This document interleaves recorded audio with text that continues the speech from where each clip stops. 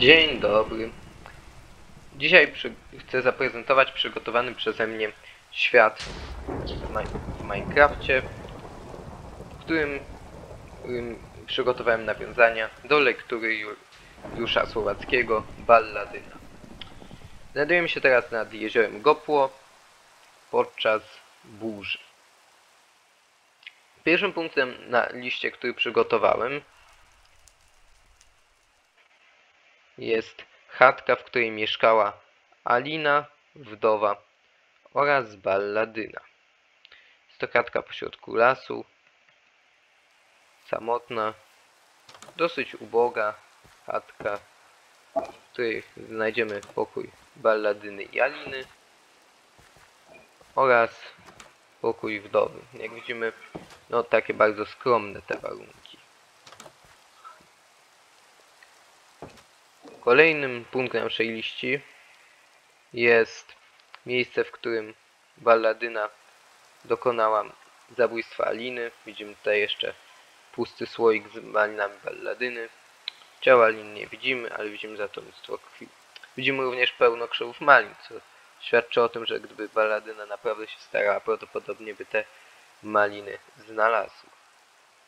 Trzecim punktem na naszej liście jest zamek Kirkora, którym potem zamieszkała balladyna. Widzimy również tutaj wieżę, w której balladyna zamknęła swoją matkę.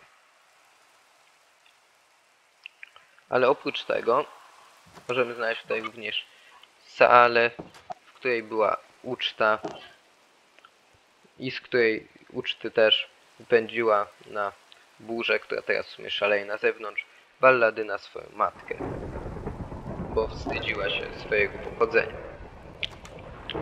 Kolejnym punktem na naszej liście jest pokój, w którym balladyna zabiła grabca, żeby zdobyć koronę popielu. No, też ciała nie widzimy, widzimy za to znowu mnóstwo krwi, które za zawsze towarzyszy w zasadzie balladynie.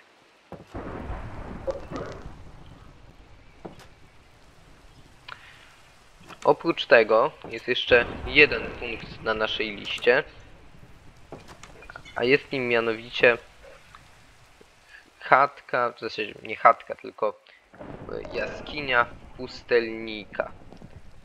A ta jaskinia znajduje się e, tutaj. O. Widzimy tutaj ognisko, no i bardzo zarośniętą jaskinię pustelnika, której mieszka. No i też widzimy tutaj jakieś lecznicze zioła oraz świeczki. To już wszystko, co przygotowałem. Mam nadzieję, że mój przygotowany świat Wam się spodobał. Dziękuję za uwagę.